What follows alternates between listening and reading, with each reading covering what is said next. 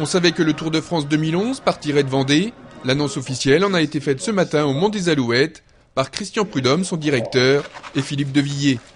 Les deux en ont dévoilé la carte et le programme très dense. Avec une première étape en ligne le 2 juillet, longue de 180 km, entre le passage du Gois où sera donné le départ officiel et le Mont des Alouettes sur les hauteurs des Herbiers. Pour moi, vraiment, cette étape du Gois au Mont des Alouettes est hautement symbolique, emblématique de, lieux tout à fait particuliers, mais aussi de notre volonté d'aller là où nous souhaitons aller parce que le sport et l'histoire nous disent qu'il faut aller dans ces lieux-là. Parmi d'autres, Jean-René Bernaudot était présent pour ce moment très attendu. Bien sûr, on n'y est pas encore, mais voir l'un de ces coureurs en jaune au Mont des Alouettes, le soir de la première étape, ça serait magnifique.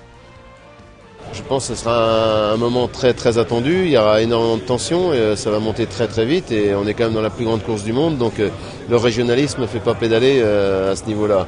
Mais c'est vrai qu'on sera sans doute les plus motivés. Hein. Un vainqueur vendéen en Vendée, non, non, on va pas se pincer là, ce serait vraiment la folie.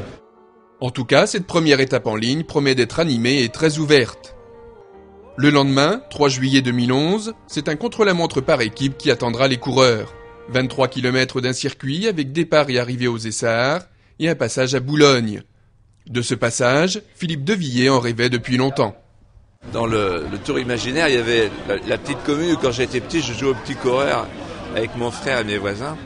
Euh, c'était euh, du temps de Jacques Anquetil et Raymond Poulidor. Et donc pour nous, euh, faire passer le tour à Boulogne et aux Essarts, c'était évidemment faire revivre des, des souvenirs d'enfance. Et Christian me dit, mais c'est exactement là qu'on devrait situer le contre-la-montre par équipe parce que c'est au milieu de la Vendée. Pour couronner le tout et boucler la boucle, le peloton s'élancera pour la troisième étape de l'Aune-sur-Mer. Après plusieurs jours passés en Vendée, la caravane du Tour de France quittera alors le département pour une destination qui ne sera connue qu'en fin d'année, lors de la présentation officielle de la 98e édition du Tour de France.